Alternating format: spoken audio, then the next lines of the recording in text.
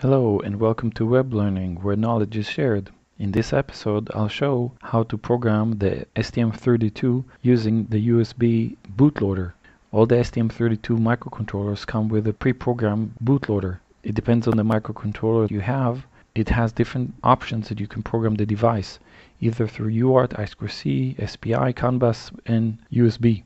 In order to better find out what options you have in the bootloader, it is best to start with AN2606 from ST.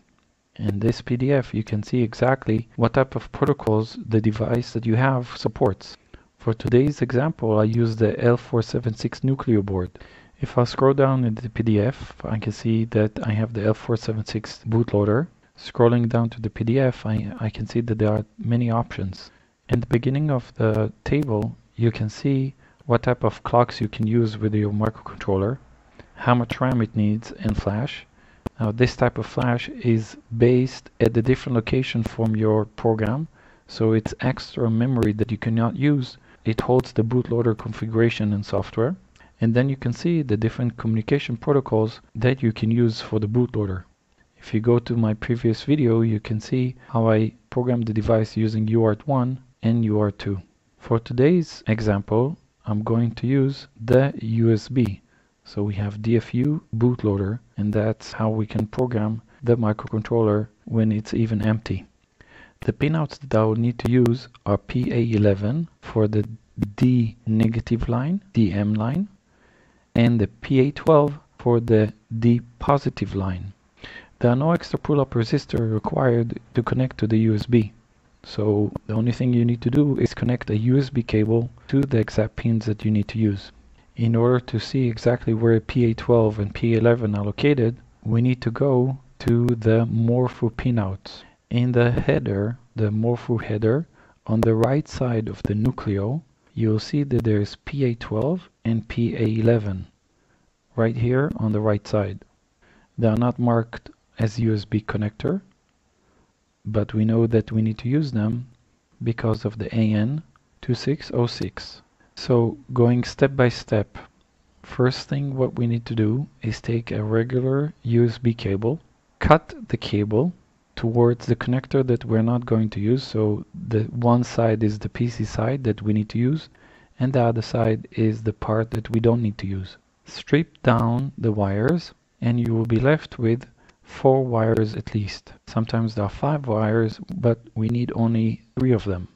The wires that we're going to use are ground, the green one for data positive, and the white one for data negative.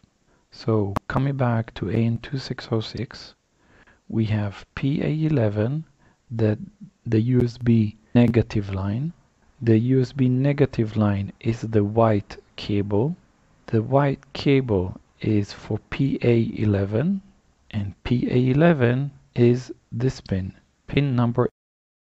The next pin, that's PA12, positive line. The positive line is the green wire. The green wire will be connected to PA12 and that's pin, pin number 6. We also need to connect the ground and the ground is located really close and that's pin number 5.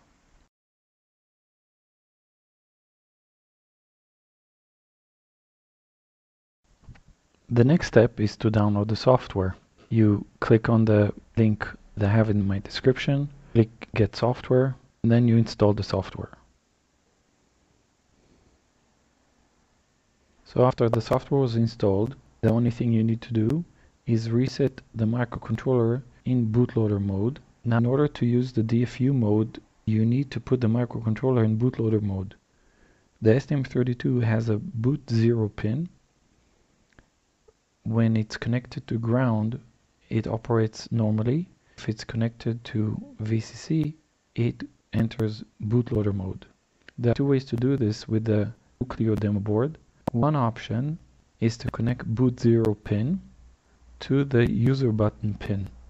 The user button pin is always connected to VDD, so after clicking reset it will immediately enter bootloader.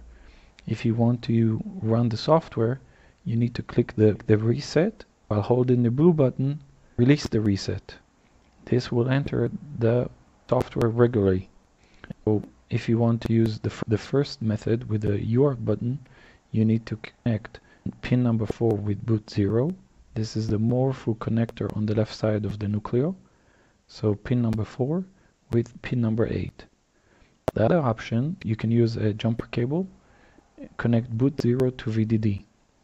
This, as long as the jumper is connected, you will enter the boot bootloader.